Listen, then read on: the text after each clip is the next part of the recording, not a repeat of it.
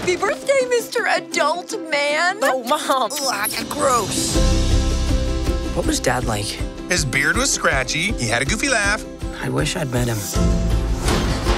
I have something for you from your dad. It's a wizard staff. I wrote this spell so I could see for myself who my boys grew up to be. This spell brings him back. Back like back to life? He wanted to meet you more than anything.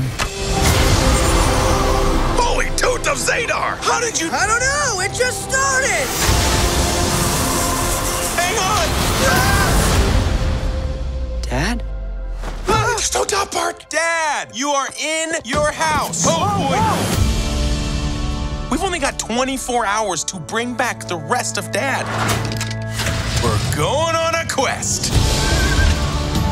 All quests start with the Manticore, the fearless adventurer. You mean Corey? She's over there. Quick, somebody help me. These Griffin nuggets were supposed to go out minutes ago. That's the Manticore? You guys are in trouble big time. Get in the vehicle. I'm escorting you home. I'm giving you to the count of three. Okay. Wait, what are you doing? I don't know. Ah, I'm looking for my sons. Oh, they went on a quest. But don't worry, I told them about the map, I told them about the gym, I told them about the curse. I forgot to tell them about the curse! The what? Your boys are in grave danger! Hold on! How do your boys do in a crisis?